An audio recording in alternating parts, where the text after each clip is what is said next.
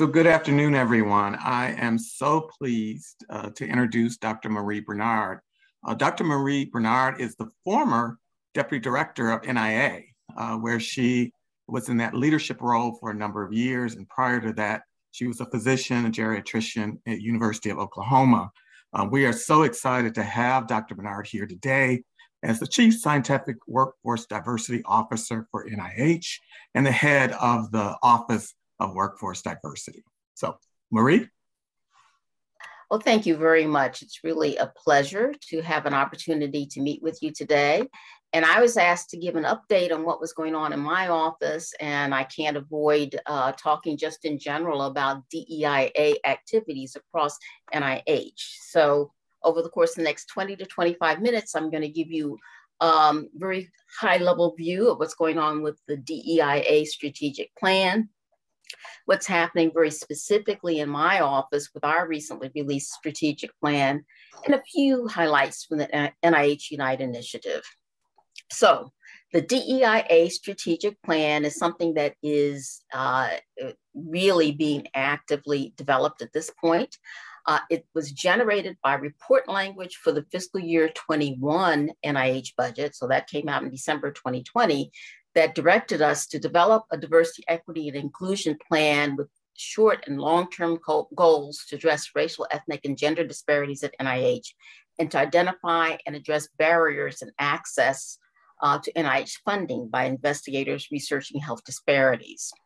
Uh, we then had a change in administration, and shortly after the Biden administration took over, there was Executive Order 14035 that called for all federal agencies to develop a diversity, equity, inclusion, and accessibility plan for the federal workforce. Um, the government wide strategic plan was released November 23rd that gave a roadmap for implementing this executive order it charged all agencies to develop a DEIA plan by March 23rd. We here at NIH had a little bit of an anxiety attack when we first saw that, but recognized that this was speaking to HHS, our overarching uh, organization. And as what's called an operating division or OpDiv within HHS, we have the opportunity to take a little more time in developing our plan. I will also say that the mandate for a plan from Congress uh, that was released December of 2020 called for that plan to be developed within 180 days of the legislation being passed. That was a little challenging for us as well, but we were able to negotiate with Congress that we do quarterly updates with uh, leadership in the House and Senate for allocations and appropriations, and that has uh, worked out well for us. So it's anticipated that late spring, early summer, this plan will come forward. The overarching principles of our plan are to communicate a vision and aspirations for all of NIH, to be broad in scope. This is the umbrella uh, that brings together all of the things that are help, happening in the DEIA space. Uh, we've been working hard on articul articulating clear definitions of diversity, equity, inclusion, and accessibility. Uh, more easily said than done because there are a lot of uh, definitions out there and some lack of clarity in some areas, particularly if you want to do research. Uh, we're to report example accomplishments, convey our priorities for the next five years, uh, have these priorities to be broad with sample activities, be accountable, uh, measuring our progress, and getting input from internal and external stakeholders. Um, the scope of the plan is to articulate our vision for strengthening diversity, equity, inclusion, and accessibility. I'll call it DEIA here forward to capture activities that the NIH workforce will undertake to meet the vision of this strategic plan and to harmonize it with the NIH-wide strategic plan. Uh, and thus it's organized around accomplishes needs, opportunities, and challenges in three key areas. Um, one area is the DEIA workforce. Um, this is organized a little differently than what you would see uh, in a usual NIH plan where the research is first, but since this is a workforce focused one, we thought it appropriate that that be the first objective. Looking at the NIH workforce and looking at the workforce at institutions that are supported by NIH.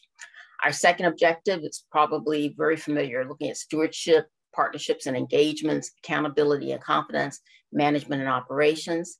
And then our third objective is the research objective, looking at uh, research workforce, um, workforce research and health disparities research. The process is that we had an RFI that was out and um, I think close to the beginning of April. We're carefully reviewing uh, the results from that RFI. We will have a presentation at the June 10th advisory committee to the director meeting.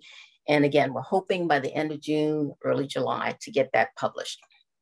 So from the COSWD perspective, we are a component of DEIA. Uh, we have been working really hard in developing our strategic plan. I was impressed by uh, Dr. Uh, Zenk's discussion of um, the NINR strategic plan. Ours covers a similar time period from fiscal year 22 to 26. Uh, our vision is to enable NIH and NIH funded institutions to benefit from the nation's full range of talent and to foster creativity and innovation in science.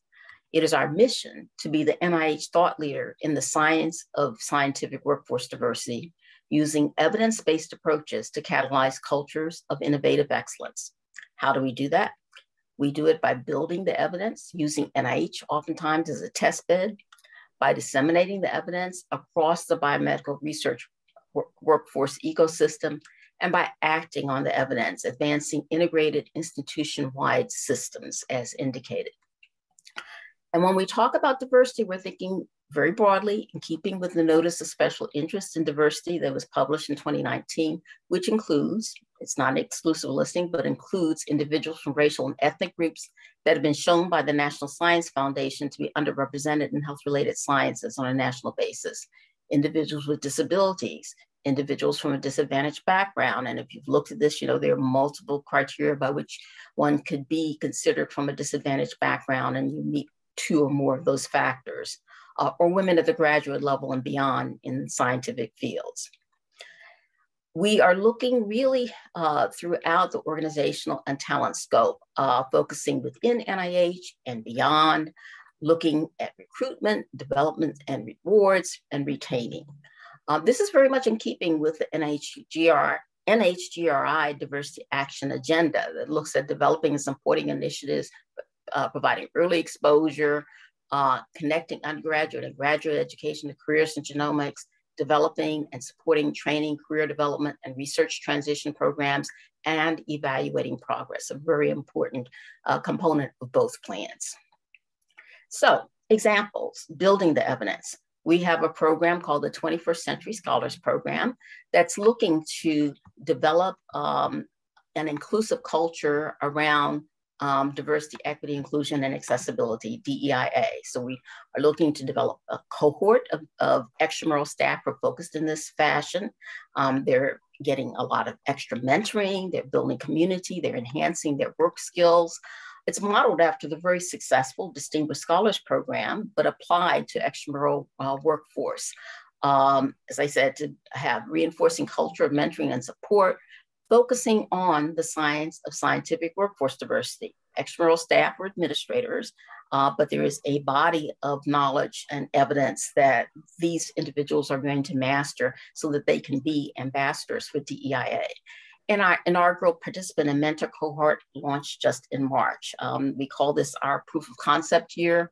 Uh, if it proves to be effective in these monthly gatherings uh, for the next six months, we will look at um, doing this over the course of the next four or five years at least, uh, with the hypothesis that if you can develop this um, uh, critical mass of individuals who are well informed and advocates in this area, that it may translate into differences in the way that FOAs look, to differences in who ends up being funded by the various ICs. And we're very grateful um, to NHGRI for lending the skills of Dr. Hindorff as one of our uh, six mentors for this group. We have 13 participants. Uh, it's going to be uh, a very intense uh, several months. In terms of the disseminating evidence, we have something that we call the Scientific Workforce Diversity Seminar Series that we launched last fall. And the last of the 21-22 season offerings will be just tomorrow. So there's still time to sign up if you haven't had the opportunity as yet. We're going to be addressing the question, how does diversity impact science? Looking at the data. So we'll have opening remarks from Dr. Jedidah Isler from the Office of Science, Technology, and Policy, Dr. Laurel Smith Doerr, talks about gender diversity. Dr. Richard Freeman is going to be bringing forward some really interesting data that he's uh, seen uh, related to the COVID pandemic. Dr. Jennifer Kwan is kind of a combination of what Smith, Doerr, and Freeman do. Dr. George Santangelo is going to talk about mentoring and you know um, same sex versus uh, opposite sex mentoring. And Dr. Shirley Tilghman, uh, past president of Princeton, will provide um, some concluding reflections and remarks before we open it up for general conversation. Again, focusing on the data. Um, so I encourage you to join us if you can. If you can't, uh, we will have the video cast, the slides, and eventually uh, meeting proceedings uh, posted on our website, diversity.nih.gov. And then acting on the evidence, uh, we have good data that demonstrates that mentoring can make a difference uh, in the success of scientists, particularly women, individuals from underrepresented racial and ethnic groups who do not necessarily have built-in networks um, that will advance their interests. Uh, and yet we know that mentoring is often uncompensated. So what we did this year was put out a notice of special interest uh, for administrative supplements to recognize excellence in DEIA mentoring. Um, it we had an overwhelming response, more than a thousand inquiries, many, many applications. Um, a lot of the inquiries were because it was open to a wide range of mechanisms were how can I be eligible? R01 recipients. An R01 recipient would not be eligible for this if it was not already an objective in the grant that was actually reviewed, or they had a plan to enhance diverse perspectives, which is part of um, what um, uh, the NIH Wide Brain Initiative has uh, put forward. I will talk about it a little bit more shortly. Or you had an active diversity supplement associated with that with the, that grant. Uh, and the process of review is uh, active at this point. Uh, ICs will provide us their list of recommended applications for funding, and we will prioritize mentors who will enhance outreach to scientists in keeping with the NIH Notice of Special Interest in Diversity. Um, I'll also say, given the robust response, we'll probably, probably do something like this again next year. And then there's NIH Unite, uh, the very ambitious uh, initiative to end structural racism, uh, publicly unveiled February 26, 21 at a special meeting of the advisory committee to the director. We often just talk about five interacting work groups that account for the acronym. Another way of thinking about it is these primary content areas, as uh, we talked about in the Nature Medicine commentary last fall. Health disparity, minority health, and health equity research, looking internally at the workforce, getting our own house in order for what it is that we expect of the external workforce. So some high level things. From the standpoint of health disparities, minority health, and health equity research, Dr. Zenk kind of stole my thunder. Um, there is the Common Fund Initiative um, that's committing up to $58 million over five years. This is a concept that came out of Unite. Um, there were 11 awards announced last uh, October, six of them looking in general at transformative research to address health disparities, five of which were looking at that topic at minority serving institutions. And there has been an additional competition for this fiscal year. I think that the closing date is right around now. Additionally, as she mentioned, Compass. This is again a concept that came out of Unite. We're really delighted to see so many ICOs involved with this that um, Common Fund is going to uh, devote a lot of money towards this. Um, I think being the geriatrician that I am, that this is uh, a wonderful initiative because it's looking at community driven health equity structural interventions. In other words, they're going to be local health equity research assemblies that will say what they see as their needs. Um, there's going to be a coordinating center that works with a national health equity research assembly, again, national group of, of community activists and community members to state what they need. And then these health equity research hubs with scientific support and partnership uh, which should take us a long way in addressing the things that people at the community level see as challenges. Uh, and as Dr. Con Dr. Zenk mentioned, a lot of money is being committed to this, 23 to 52 million dollars per year over the course of the next 10 years. I'm not taking telling anything out of um, uh, inappropriately here. This is all what was presented at the Council of Councils meeting on January 27th. And if you want to see more, you go to the video cast and take a look. Um, so we're expecting that FOA to come out for fiscal year 23. And then in terms of our own internal workforce, there's a lot of work that's ongoing.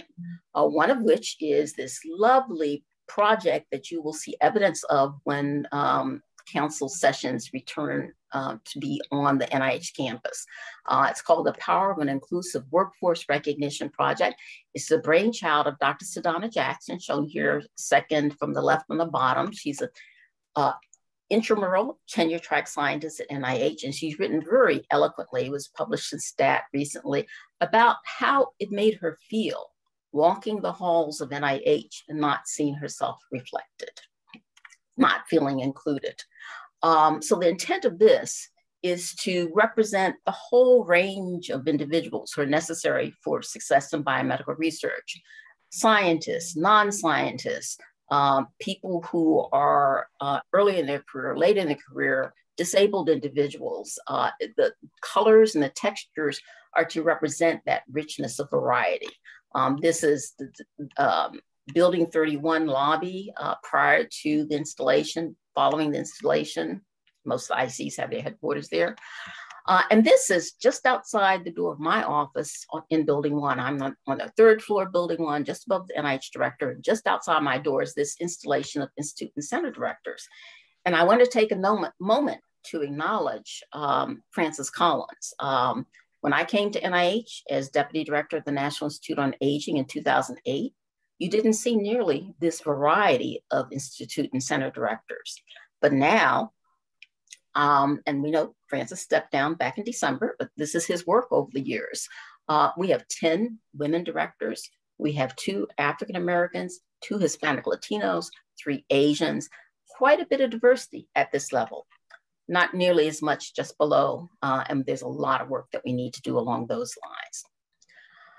And then switching to the external workforce. Um, I know the part that's most important to you.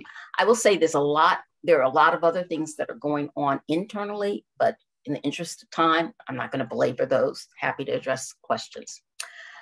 For the external workforce, of course, there is the Faculty Institutional Recruitment for Sustainable Transformation Initiative.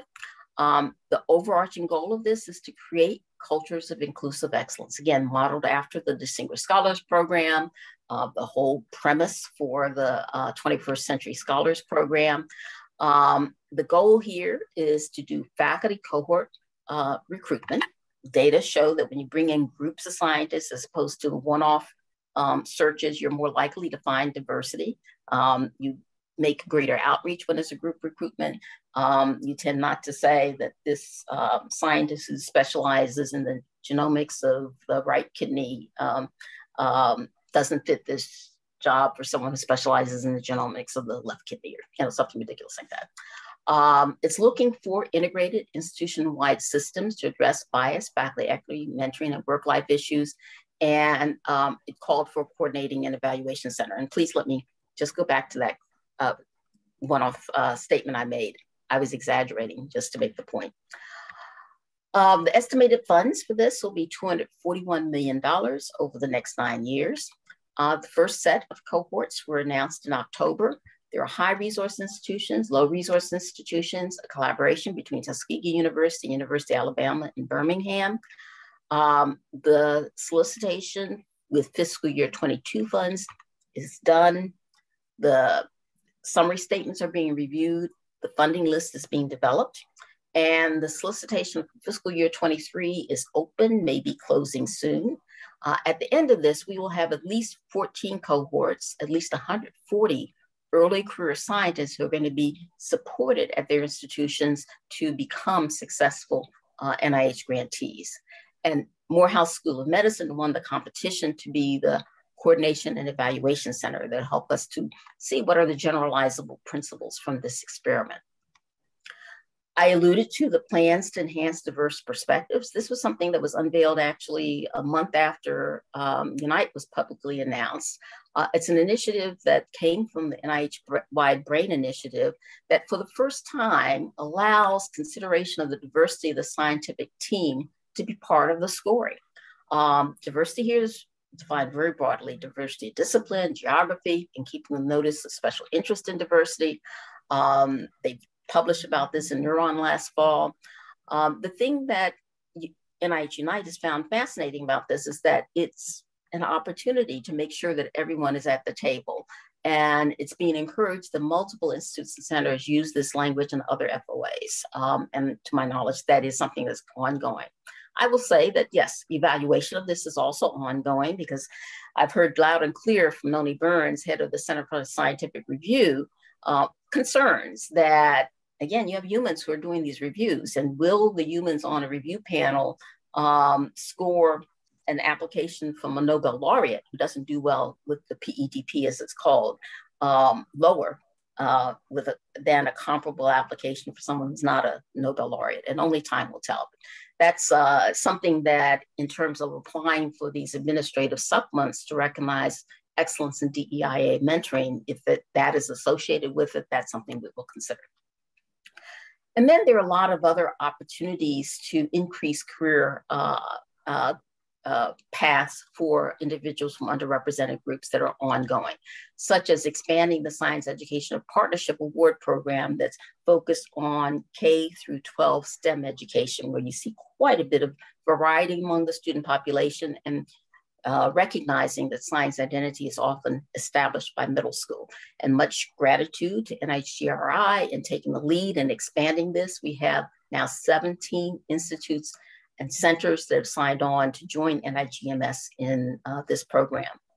Additionally, um, there are a number of other FOAs and prizes that are being considered, like um, institutional climate self-studies. Um, rather, I, I, like to call it um, the first initiative light uh, gives opportunity. It's the idea here is to give institutions the opportunity to evaluate their climate and begin to make changes. It doesn't give all of the funding that FIRST provides. That's uh, under consideration and development. It was presented at the uh, December 10th advisory committee to the director meeting. Um, there are also plans for structured institutional needs assessments and action plans uh, for development grants at minority serving institutions, um, a plan to develop uh, grants for minority serving institutions for instrumentation, um, uh, looking at expanding the sponsored uh, administration services activities for minority serving institutions. This is something that's already being done in a more modest fashion through the uh, Diversity Program Consortium. And under development is an Excellence in DEI Investigator Award, which be an accompaniment to the administrative supplement. The idea here being that you can apply for this competitive award whether you have NIH funding or not. Um, this is again very aligned with the NIH NHGRI strategic plan. Um, and yes, there are key members of NIHGRI who are involved with Unite who are moving things forward. Finally, uh, I want to make sure to bring to your attention an open RFI on the development of a prize competition for institutional excellence in DEIA. The intent here is to acknowledge transformative cultural systems, projects, and processes that have developed have been developed to achieve inclusive excellence and to highlight practices that have resulted in measurable change and created a more inclusive environment for students and faculty. Um, as I said, we are seeking input. Uh, the topics that uh, we're interested in are how the prize should be, um, uh, competition should be structured, what should be the outreach, the judging criteria, the timing, how we should disseminate the winning submissions, and what may be barriers um, to applying for this. Uh, and the deadline for response to the RFI is July 28th. As you see, it's coming to my office. We are taking lead of this on this on behalf of NIH. But again, very grateful to NIHGRI for joining with multiple other ICs and um, supporting this uh, and making sure that it goes forward. Uh, as I said, I'm just touching the surface. If you'd like to know more about what's happening on the Unite side, um, you can go to URL nih.gov slash ending structural racism or just Google NIH Unite and take a look at the milestones and progress page. Um, so I'll close with our favorite adage, great minds think differently, and I'd be happy to answer any questions that you might have.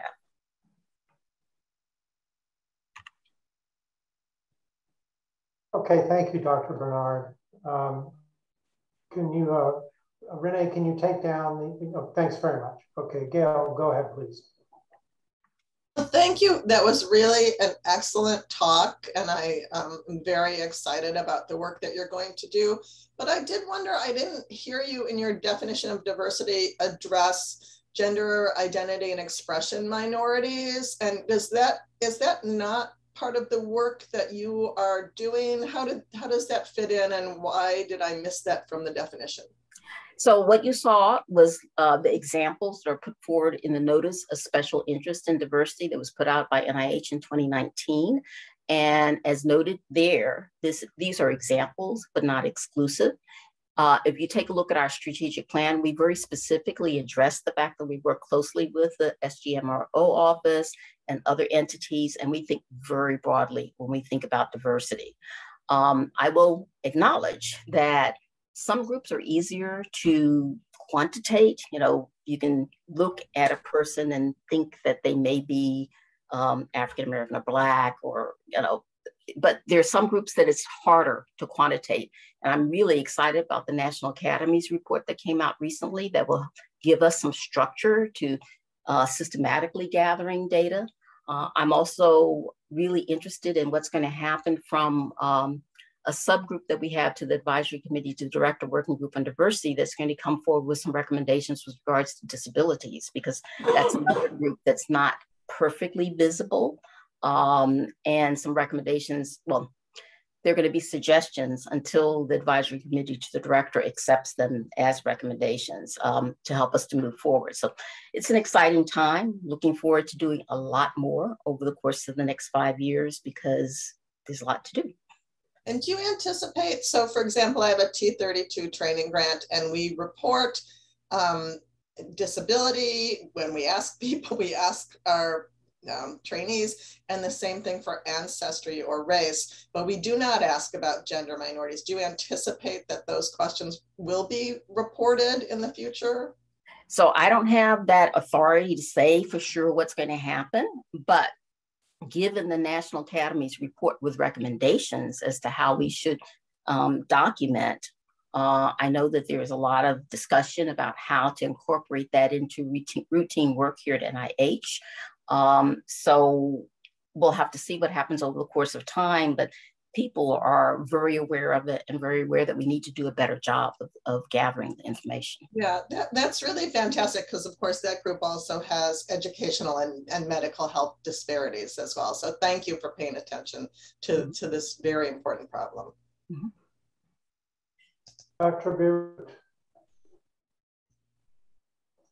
So thank you very much. I, am going to bring up a group that is really not listed, is which is um, mothers of you know are a group that are generally underrepresented in many groups. And you know we have these issues of the way our careers are supposed to go that parenting and motherhood really kind of impacts on it. And is there any influence and, and i know during covid um, mothers left the workforce at a higher degree than um, fathers did so is there any thoughts about you know what we do regarding that? Yeah, yeah, yeah. Thank you for asking that. So, you know, that's where the opportunity to collaborate and leverage is so valued by us. We work closely with the Sex, Gender, Minority Research Office. We work closely with the Office of Research and Women's Health. We work closely with the Office of Extramural Research. And last, you know, not last fall now, it's already the fall of 2020 we took the lead working with all of those entities in those surveys of COVID impact that hopefully many of you saw. We had 47,000 scientists, uh, individual scientists to respond, a 19% response rate to the solicitation. We had 34% of administrative leaders, associate uh, pro, um, vice president for research, et cetera, equivalents to respond. And we're able to demonstrate, you know, it's not surprising to anyone, but to demonstrate the impacts of the pandemic. And yes, it was women uh, who were uh, particularly impacted, uh, individuals caring for children, particularly um, less than school age children who were really impacted. Um, and we hope to have those data on our website soon for everyone to jump into and, and explore. Um, we had long discussions with our colleagues in the Office of Extramural Research in particular about what sorts of things need to be done, can be done to help with that. And um, I think everyone's aware of the policies extending F and K eligibility and childcare increases in stipends and making sure that there's support for conferences and carefully monitoring what's happening with R01 uh, and other submissions. Surprisingly, uh, at least uh, through 21, applications or submissions were being maintained. As has been pointed out, that's probably because there was a lot of residual um, opportunity then, and applications seem to be beginning to go down this fiscal year when I hear from Mike Lauer. So that's something we're going to have to continue to monitor and think about um, and uh, consider what other sorts of interventions can be brought forward that would be helpful. But I will certainly say, as a mother myself, in fact, a single mother, when I was uh, building my career, I'm very sensitive to these issues. And um, a lot of us are trying to pay attention and, and uh, make sure we do the right things here at NIH. Other questions? Yes, go ahead. Marie, can, can you talk a little bit about the Diversity Catalyst program that you lead uh, for individuals across NIH? Yeah, thank you for the question, Vince. Uh, so the Diversity Catalyst are a group of individuals who meet with my team, the COSWD office, um, on a regular basis. They were first brought together under Hannah Valentine's leadership as the COSWD to advise the COSWD office uh, as it was building programs. As I stepped in as the acting COSWD in October of 2020, wow, it seems a long time ago now, uh, and have uh, fortunately was able to uh, be appointed as a permanent COSWD in May of 21 we started uh, thinking about using the group a little differently. Um, these are people who are recommended by the leadership at the institutes and centers as you know being knowledgeable in DEI issues. Um, but you know what I was finding as I was taking on this role is that many times the left hand didn't know what the right hand was doing. You know, you knew that you were doing great work at NHGRI, but you didn't necessarily know what was going on at NIA and vice versa. So of late, we've been using this group as a means of making sure those connections occur. And we're beginning to meet on uh, every other month basis. Um, we're beginning to have people bring forward initiatives that they would like to work on collaboratively with others. Uh, we're trying to make sure that we hear what is, else is going on in our ecosystem, like we had the Howard Hughes Medical Institute folks to come and talk about their new initiatives.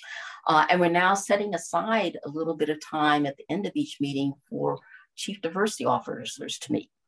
So for those of you who aren't from within NIH, uh, this fiscal year, there is a uh, diversity, equity, inclusion, and accessibility uh, performance standard for each, each, of the institutes and center directors, including the expectation of the development of what's called a racial and ethnic equity plan.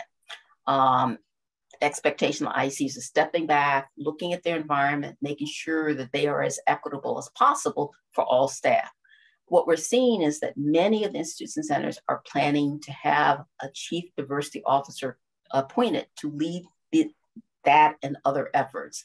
Uh, and as those people are coming on board, we're also using the diversity catalyst as an environment to help them to see what's happening across NIH, to connect with each other. Um, it's really been kind of exciting because uh, there is so much that's going on.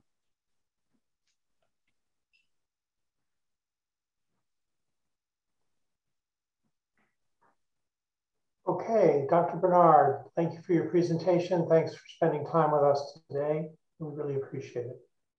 My pleasure.